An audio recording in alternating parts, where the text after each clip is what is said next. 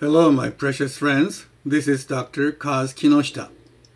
英語スピーキング上達教材 You Can Speak と英語発音習得教材 You Can Listen の開発者木下和義です。このチャンネルでは英語習得に役立ちそうないろいろなテーマについてあるいは私個人の体験談についてお話しさせていただきます。今回のテーマはピッチを上げるです。この動画を見て面白かった、あるいは役に立ったと思われた場合は、チャンネル登録をよろしくお願いいたします。私たちは作業のスピードを上げるとか、物事の進行を早めるという意味で、ピッチを上げるとか、急ピッチでという表現をよく使いますね。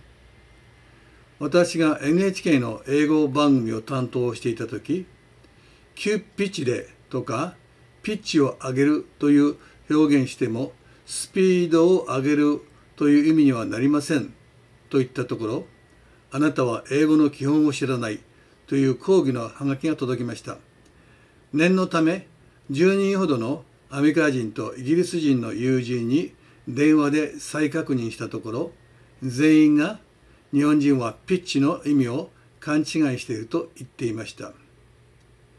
日本では急ピッチで生産する急ピッチで進む何々の準備を急ピッチで進めるなど使われるピッチの全てがスピードの意味になっています。いつ誰がどんな理由でピッチにスピードという概念を付加し普及させてしまったのかは分かりませんが英語のピッチにはスピードの概念はありません。英語のピッチの代表的な意味を申しますと1音の高さ。2サッカーなどのグラウンド。3野球の投手。投手はピッチャー。投げるときはピッチですね。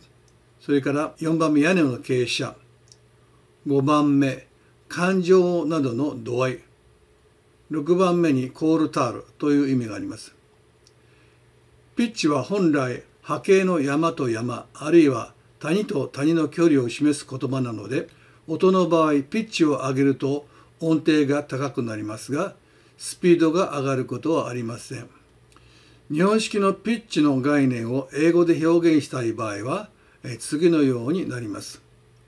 まず急ピッチでと言いたい時は at a rapid pace at, at high speed のように言います。で、ピッチを上げると言いたいときは、speed up, move into higher gear, quicken one's pace などと言います。急ピッチで生産するは、produce at a rapid rate と言います。で、急ピッチで進むは、move ahead at a fast pace となります。あるいは、pick up speed とも言います。何々を急ピッチで進めるは、put 何と何々 on a fast track のように言います。英語の本来の意味からそれてしまったカタカナ英語は英語習得に大きなブレーキとなってしまいます。知っているはずの英語が使い物にならなくなってしまいます。